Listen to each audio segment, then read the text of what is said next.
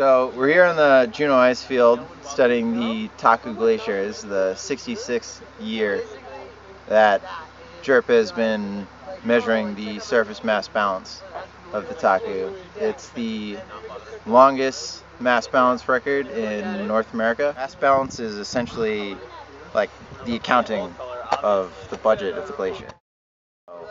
Um, we're trying to measure gain versus loss as far as accumulation versus ablation.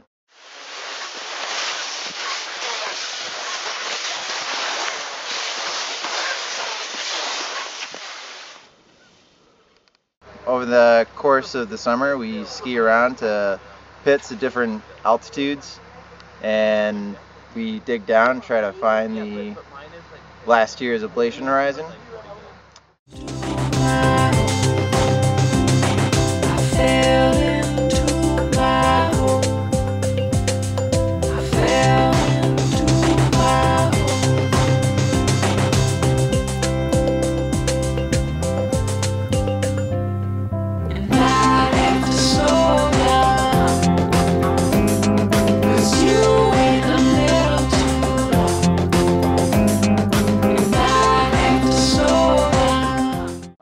This year was particularly large year as far as accumulation. On the Lemon Creek, we had some pits that were as deep as seven meters.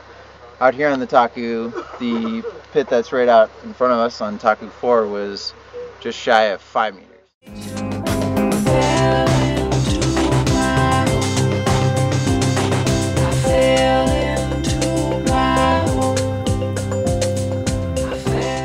Pretty confident at this point that we've identified the annual layer, uh, the 2011 ablation horizon. And there's a handful of ways of doing that visually. Um, one way to do it, which we've pretty much seen here, is uh, definitive color changes in the snowpack. So it goes from this nice snow white, goes down, it turns into a kind of a gray blue. Another way to, to tell is also the, uh, the change in the crystal size. Uh, it goes from this nice small, fresh snow crystal, and it almost kind of doubles in size. Also, there's presence of a huge ice lens right above the color change. Don't ski there. That's uh, that's another big. So hit. once we once we find evidence of the previous year's ablation horizon, um, then basically we we measure down every 10 centimeters along the vertical profile of the snowpack, and we take a 500 cc snow core and we take a snow sample and we weigh that. So knowing the the volume and the mass, you can then figure out the density. So knowing the density of the snow, you can then calculate what the water mass equivalent is. So once you know, once you can break it down into how much water is there, then you can quantify how much water has been accumulated onto the surface of the glacier. 298. What was the depth of that one? What's the depth of the last one? 440. 440. 290. Thank you.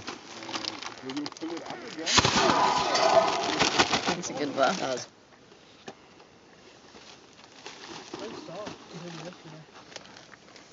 Two ninety nine.